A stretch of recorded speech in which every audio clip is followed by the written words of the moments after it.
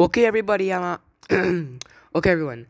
Um, so I'm starting a new series. We're in, in a new account, and in this account, I'm just going to be playing Bello as usual, with no um G cubes or anything.